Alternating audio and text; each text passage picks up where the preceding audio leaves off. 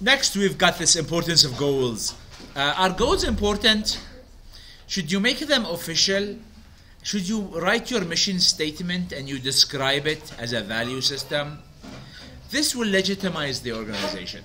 So it's important that you make a big announcement. This is what we are here for. Do you guys remember the goal of Microsoft? They want the computers to be in every home, and then they made Microsoft to make it easy for all of their uh, all computers in the world to be at home level. Remember the goal of Google? Google, their goal is uh, to organize the world information. And they want all the information to be organized on their database. They make it, they write it, they say it, they announce it, they go for it, and so on. Uh, let's see. Here we've got, on the other hand, the operative goals.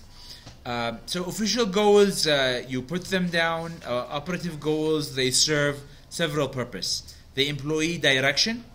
So uh, an operational goal is something that you will have to do in the next, you know, few months or few, and then uh, it it give you motivation, decision guidelines, and it will be standard performance.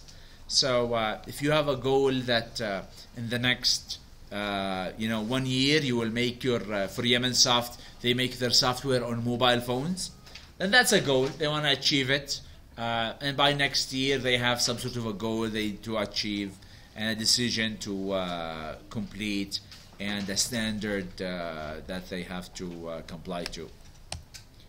Selecting a strategy. A strategy is a plan for integrating with the competitive environment. So every time we talk about strategy, we need to look at the environment. Managers must select specific strategy design and then you have to have models that exist to aid in formulating strategies like Porter's five forces and Miles and Snow strategy typologies. Uh, you guys have heard of the Porter uh, five forces?